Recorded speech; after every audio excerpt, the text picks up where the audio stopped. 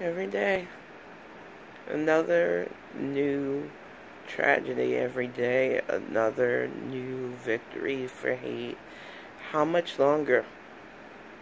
If you're a white person right now and you still believe that you have to write a manifesto about how you're dying off, how you are losing the cultural war, instead of realizing that you need to embrace being a part of an equal society, that humanity cannot survive with your level of hate and ignorance. This is too much.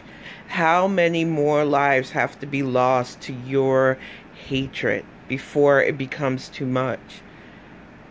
There were 10 innocent people just doing their natural everyday things that deserve to still be here on top of so many others that are constantly lost to hate and ignorance to the thought that skin pigment it should separate us.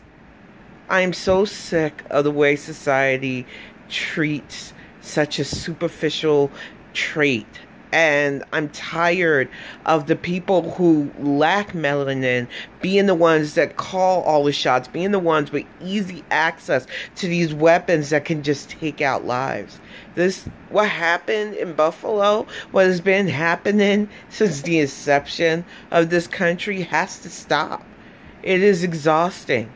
And honestly speaking, we black people, the only thing we can do now is survive and, and try to continue on. But I'm tired of it. I'm sick and tired of the people who should know better, not, and getting a pass because oh, you know, it, it's just a one-off. No, it's enough of you. And you need to start calling out your family that's doing this shit because this is ridiculous.